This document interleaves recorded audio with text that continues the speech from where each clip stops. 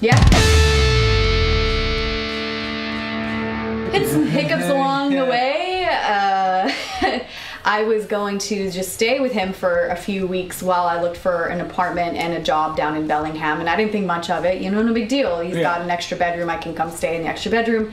I'll look for jobs. I'll go down for interviews, and it'll be a few weeks, and then I'll settle in. Well, the border didn't see it that way, they definitely. Yeah, well, you, she didn't have any ties back to America, so basically looked like we were trying to illegally smuggle you in. Right. If you know anything about legal immigration, you don't just roll on up and say, "Hey, I'm here illegally." But Yeah. but that's how they see it. They were just doing their job, and so they said, "No, you can't come in." And so You got denied access for like three months. yeah, so they said I couldn't come back for for three months. Uh, for you know various reasons, I won't go into detail. So that was really nerve wracking. Yeah, you had all your stuff in your car. Yeah, I had all my clothes. Like, okay, and, what do we do? yeah, Luckily, my sister uh, moved to America, so we actually kind of just traded. Uh, yeah, I took her spot. she went to America for her husband, and they lived in Lynden, which was is literally right beside Bellingham. Like it's super close to the border, and it just so happened they were actually just about to move to Florida in like two weeks or so. Yeah. So they were still here for two more weeks. So we like. Call, as soon as this happened, we called them and we're like, "Are you up?" It was, probably, it was probably around like eight or nine. Oh, okay. But they go to bed like super early, so so we're like, hey, like, can we come over? Like, this is what happened, and then you know they were so gracious and helped us, and you know they let they let Beth stay with them while they were packing up to move across America. Yeah. which is awesome, and it really helped us I felt terrible, but it was that or just go back home. drive with all your stuff, just drive all the way back Yeah. home. So. While that was while you were staying with them, you were looking for some kind of job and place Yeah. to stay in Bellingham, and like in two, you had to have that in two weeks, or it was go home. And Yeah, luckily- exactly. Luckily, you found it. Yeah, so I found a job. I found an apartment. It was a very interesting time. Like Yeah. I'd never really done anything. Not that it was crazy, but anything quite like that, and have it not go as expected. So Yeah. I ended up living. A bit of a shock. Yeah, a bit of a shock. But so I ended up living in Bellingham for a few, like a, a few months as we, as we dated. And once I was able to come back to Canada again, obviously we saw each other more frequently. He came down and visited me for the three months I couldn't come up. He would come down on the weekends and Yeah, we. I bring friends sometimes, and we just hang out in Bellingham instead of in Canada on the weekends or whatever. Yeah, exactly. So luckily I was able to come back, and then yeah, we would trade weekends. He'd come down one weekend, I'd come up one weekend, and we just kept doing that for a little while until I think it was June when we got engaged. Yep. So when we got engaged, um, it was re- like a really weird story around like how it happened because Trevor had actually unfortunately gotten laid off his job because they closed his department, and so mm-hmm. we we kind of knew like once we figured out I think like we're meant to be together like I think we were, we're gonna get married. You kind of got to talk about those things when you live internationally. You can't just see how it goes for like five years and then maybe you know I moved to Bellingham, so we kind of mm-hmm. had to talk about it. So we knew we wanted to get married, but unfortunately we just didn't know when because he you know lost his job. The paperwork to move to another country is pretty extensive. The wait the waiting time was about a year or so. So Yeah.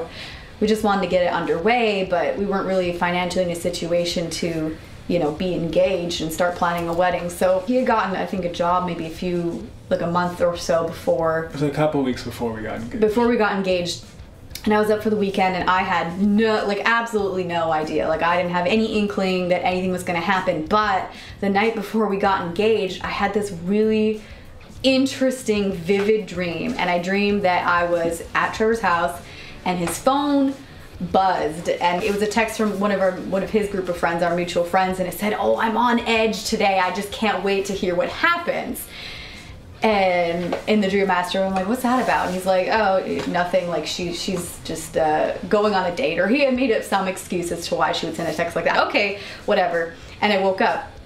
So then the next day uh, that exact almost that exact thing happened where Yeah. he got a text message from a friend that said something that I, I just happened to see out of the corner of my eye something along those lines. And i was like what is going on? Because I had literally just dreamed it the night before. We went on like a little date because we used to do like little fun mini dates, and Trevor said, You know, like I'm really sorry that we can't get engaged sooner. I really want to, but let's just have some fun dates until we can. Let's get creative. So mm-hmm. we went to, there's a park nearby here, really pretty park. Trevor decided to have A painting contest. Yeah. Because he always painted. because I used to love to paint. I haven't in a long time, but I love painting.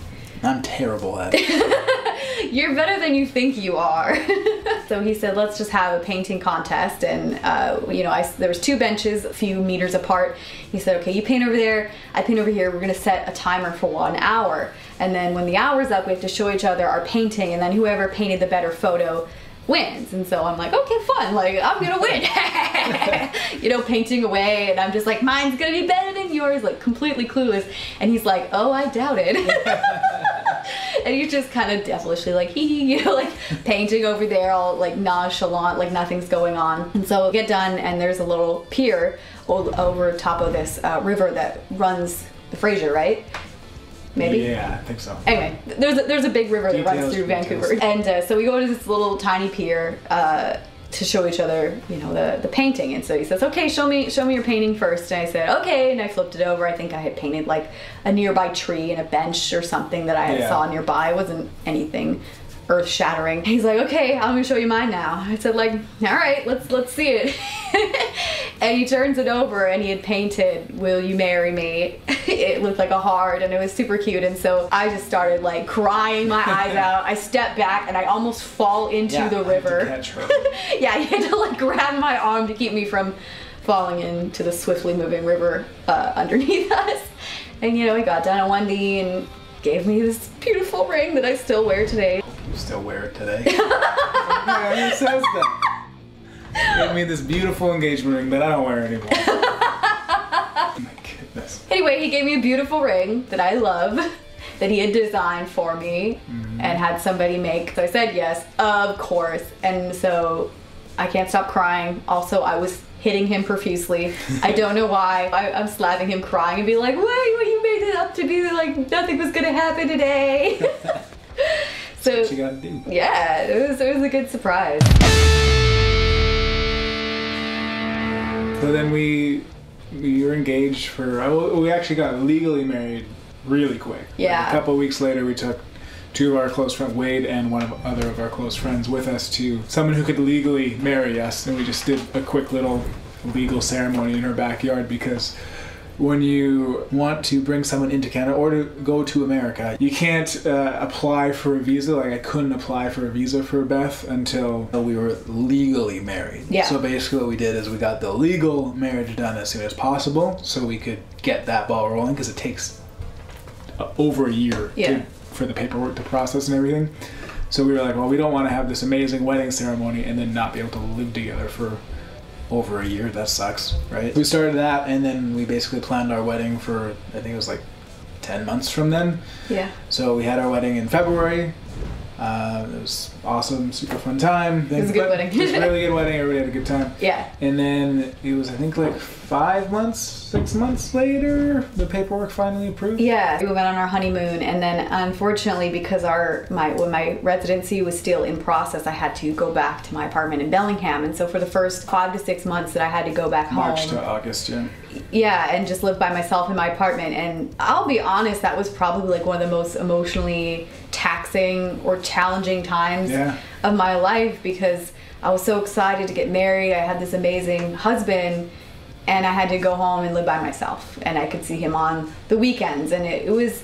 You know, in retrospect, everything's fine, you know, now, and I could have been a lot braver back then looking back, but in the moment, you don't really see where things are going to be, you know, five years down the road. You just see your current situation. So I remember being kind of not somebody I was proud of. I was stressed all the time. I was kind of short with people around me because I just wasn't feeling like things were going how I wanted. I was very happy to be married, but I wasn't happy that I had to live by myself in another country. So eventually everything worked out. I got my uh, okay letter to move. I packed my boxes so fast. That's within the same week. Yeah, within a week or two, I was ready to go. So I packed up, I gave notice, I quit my job, and I came up here. We did it all in like a day. We just hauled all my stuff up, and Yeah.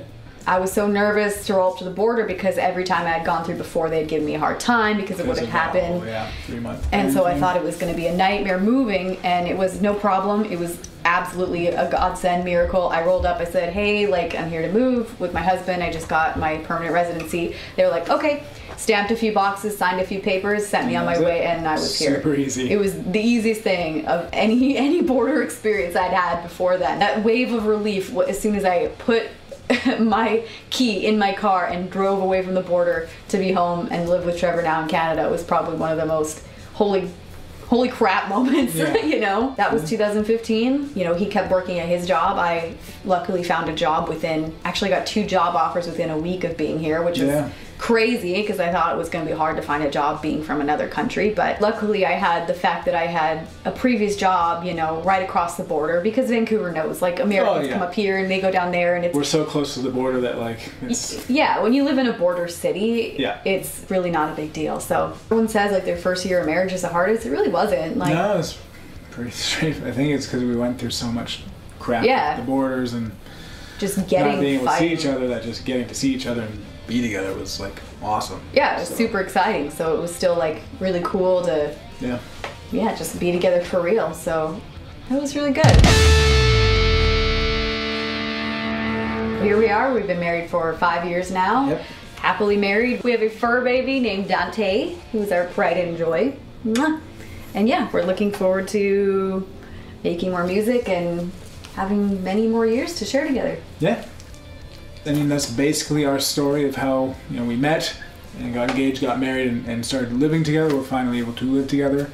Uh, we won't go into detail in this video, just obviously how we started making music and all that stuff, because we feel we've talked about it quite a bit before in uh, blog posts on our website. And I wrote one, and then our main story is actually its own blog post. So uh, if you guys want to see like a video of us talking about that, we can totally do that. Let us know. But Yeah. otherwise, uh, that's all on our website for you already. Thanks for listening to our story.